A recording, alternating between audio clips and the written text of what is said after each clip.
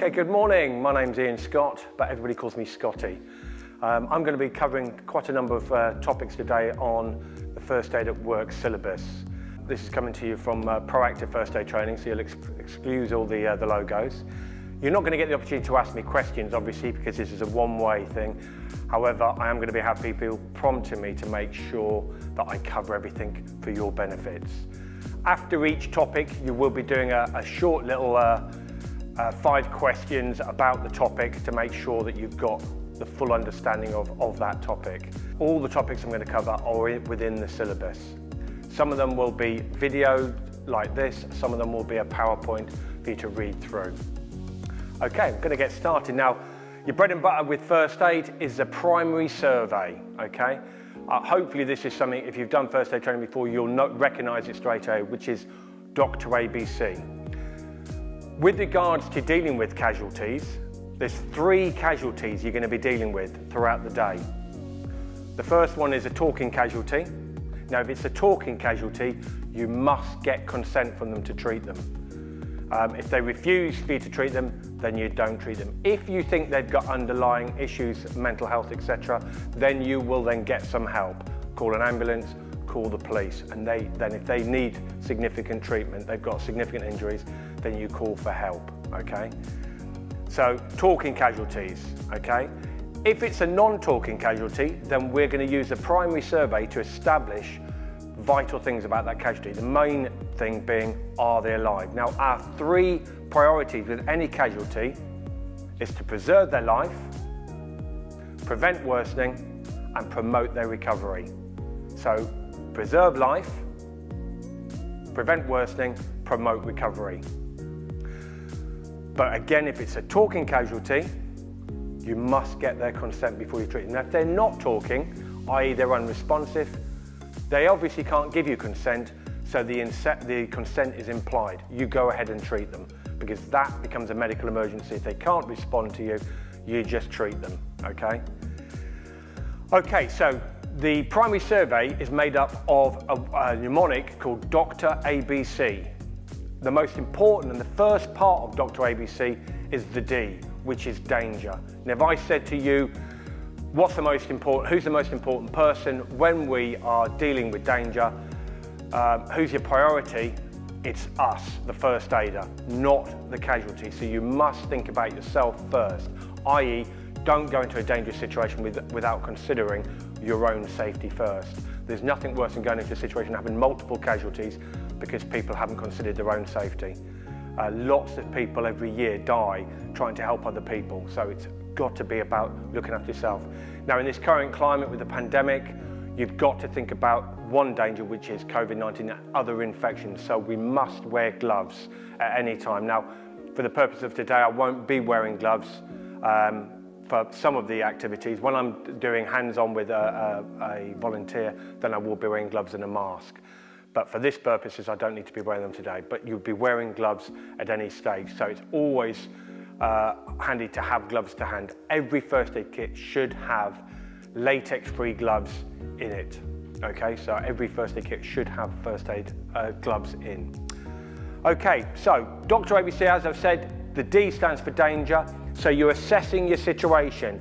You've got a casualty lying on the floor, okay? Now it's a stepwise process to dealing with casualties. The first thing I'm gonna do is talk to my casualty. So the R is response. So we've covered the danger. I can now approach this casualty. I'm not going to put hands on at this stage. I'm just going to talk to my casualty. So, hello, first aider, can I help you? Now, if the casualty talks to me, straight away I know that casualty is breathing. So it's a big thumbs up. So talking casualties are good casualties. Now, if it is a talking casualty, we need to ask questions about what, what's happened.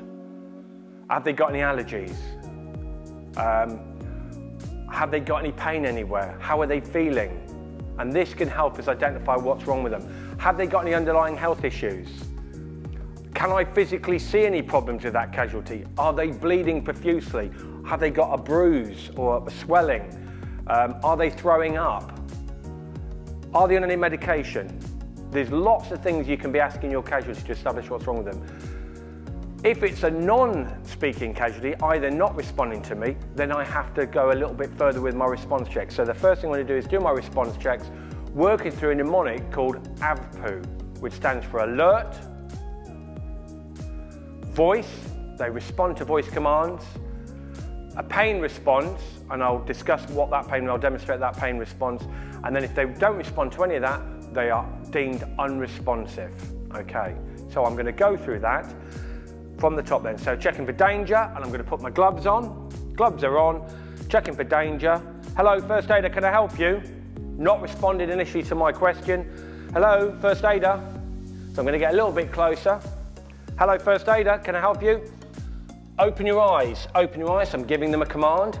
They still haven't opened their eyes, so they, I'm, I'm not sure whether they're sleeping or they are actually unresponsive. So I'm going to initiate some pain response, and all I'm going to do is just tap the shoulders, little squeeze.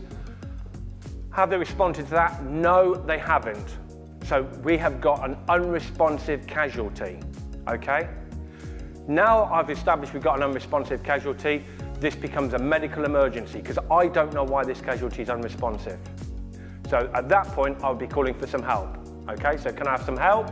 Now, assuming I get a, third person to come and help me, they can do all sorts of things for me. They can get me a first aid kit. They can get me a defibrillator. They can take stuff out of the first aid kit for me, like my gloves. They can ring 999 for me. Now, if I don't have a third person, third party person to help me, a bystander, then I've got my phone. I'm going to initiate a 999 call on my phone and then I will put it on loudspeaker and place the phone next to the casualty so I can continue with the Dr. ABC mnemonic. So as long as I know I've got some help on the way. So from this point now, what I'm going to do is go through A, B, C. Now A stands for airway. The most common cause for blockages to the airway is the tongue. 98% of the blockages to airways is the tongue. A casualty lying on their back, unresponsive, is in a dangerous position because the tongue drops back and obscures the airway. So the first thing I'm going to do is establish if that tongue is causing a problem. Now, the easy way to spot a tongue blocking the airway is snoring, uh, and if it's fluid, i.e. vomit, blood or saliva, it's gurgling you're listening for. But you will hear laboured breathing. So I need to sort that airway out first and foremost. So the first thing I'm going to do is look in the mouth. Okay, I can't see any obstructions.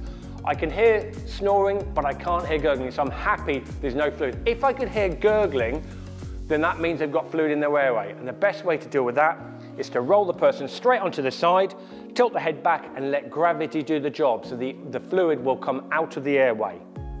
Once you've cleared that fluid, you place them back. We do not put fingers in mouths because of the risk of you getting your finger bitten, but also you could induce vomiting, which is never a good thing with a casualty.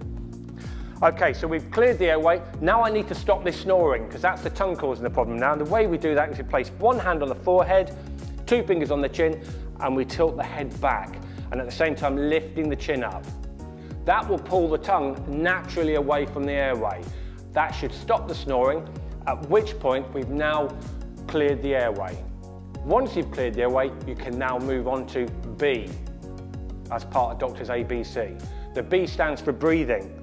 Now we need to assess whether this casualty is breathing. Now, we've got two protocols here. We've got a, a COVID protocol, which basically where we normally check for breathing is to get our ear down next to the person's mouth. But in this current climate, all we're going to do is keeping the airway open. I'm going to look from here at the person's chest and I'm looking for signs of movement of the chest and the abdomen to establish whether that person's breathing. Quite often in unresponsive casualties, you can actually hear them breathing as well. So very quietly listening and looking for 10 seconds. Now, why do we check for 10 seconds? The reason we check for 10 seconds is because we need to hear rhythmic breathing. Now, in 10 seconds, I'd expect to hear the casualty breathe at least twice, okay? What we don't want to hear, and is very often mistaken for breathing, is a, a condition called agonal gasping. Now, what does that look like? I'm going to demonstrate what this looks like, and this is very common in people that are about to die. And this is how in uh, hospitals they can actually assess them and go, the family need to come in now because they haven't got long to go. And it looks something like this.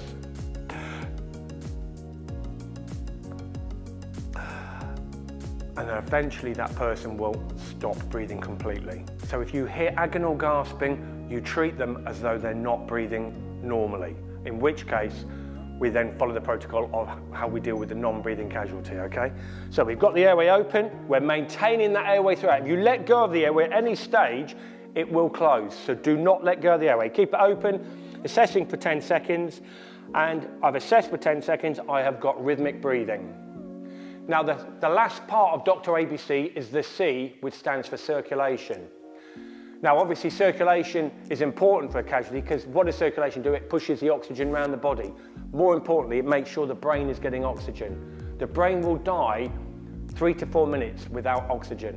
Okay, so it's vitally important we establish if this casualty is breathing. We've established the breathing, so we're happy with the circulation. However, there are other things, uh, vital things that could affect the circulation. That could be catastrophic bleeding. Okay, now if you see a lot of blood around the casualty, if it's a catastrophic bleed, it would be spurting if the heart is pumping. If the heart is not pumping, you're going to find out when you commence CPR on the casualty that they've got a catastrophic bleed and you'll see blood coming out the casualty at a great rate of knots as you're pumping on the person's chest. It's the only thing that comes ahead of breathing on a casualty when we prioritise casualties. If they've got a catastrophic bleed, you need to plug that hole, you need to deal with that bleed. And again, that's where I'd get a bystander, put some pressure on that while I do CPR on this casualty. But this casualty, at this stage, I've assessed and they are breathing.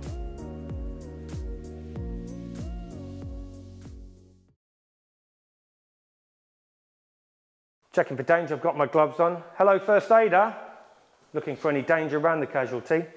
Hello, first aider, can I help you? Hello? First aider? Open your eyes. Open your eyes. Okay, can I have some help, please? Can I have some help? Okay? Just stay there for a second. I'm, gonna, I'm not going to need your help. I just need, need to do some checks on this casualty. Okay? So first thing I'm going to do is just check in the mouth. So I'm assuming I'm checking in the mouth. I've got a face mask on there, but I'm checking in the mouth. But if I had a face mask on on the casualty, I would need to remove that face mask in real situation. Okay, I'm going to tilt the head back, opening the airway, and I'm going to assess the breathing. So I'm checking for 10 seconds. I've got good rhythmic breathing. Okay, right, what I need you to do is I need you to call me an ambulance. I've got male aged about uh, 20 years old. Um, he is breathing, but he's unresponsive. Okay, I don't know why he's unresponsive, but he is unresponsive, so it's a medical emergency. On your way back, can you grab me a first aid kit and a defibrillator? Are you happy with that? Yeah. Thank you. Okay, if you go and uh, get that for me. Right, I'm just going to place him in the recovery position. Okay, so I'm going to demonstrate the recovery position now.